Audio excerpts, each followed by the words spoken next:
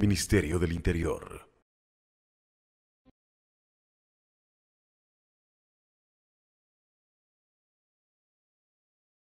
En las últimas semanas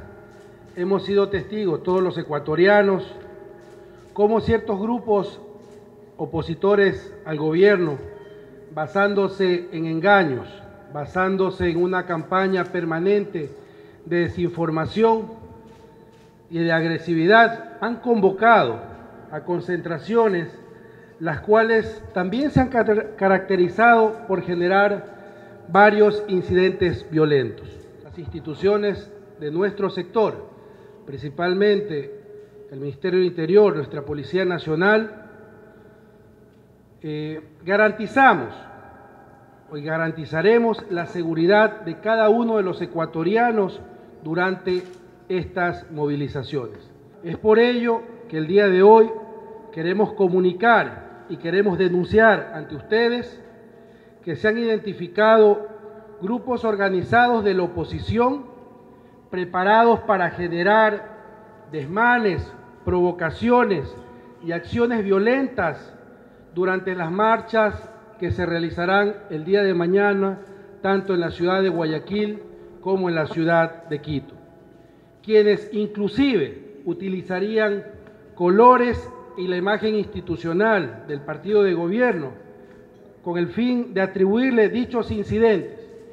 Esto para incitar y generar un ambiente de enfrentamiento, un ambiente de conflicto, de crisis e incertidumbre. Por ello, desde ya responsabilizamos a los organizadores de las marchas sobre cualquier acción que atente contra la seguridad ciudadana, los bienes públicos y los bienes privados. hemos recibido, tanto de inteligencia policial como de inteligencia militar, reportes específicos y concretos de eh, grupos cercanos a los organizadores de las marchas, tanto en Quito como en Guayaquil, específicamente en Guayaquil, tanto al alcalde de Guayaquil, ex gobernador, de, gobernador del Guayas, en el gobierno de Febres Cordero, eh, al abogado Jaime Nebot y otros más que están, grupos cercanos que están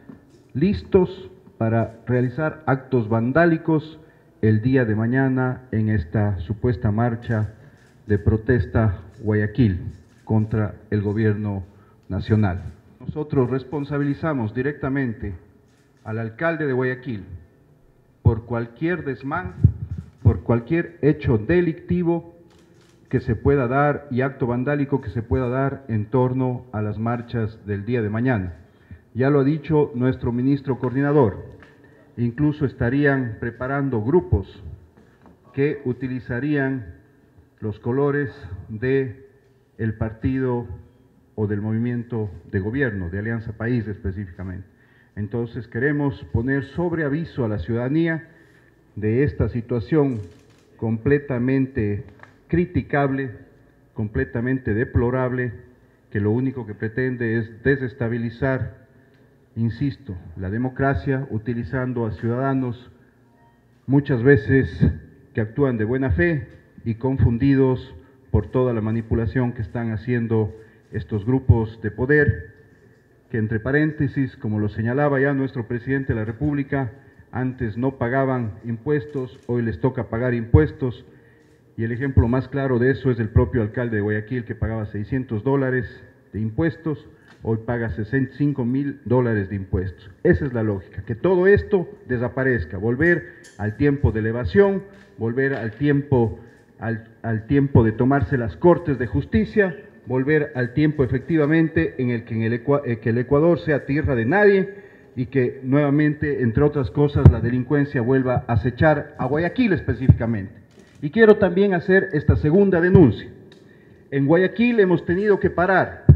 operativos importantísimos contra la delincuencia justamente para concentrar a los equipos policiales en trabajos de inteligencia frente a la desestabilización que se pretende plantear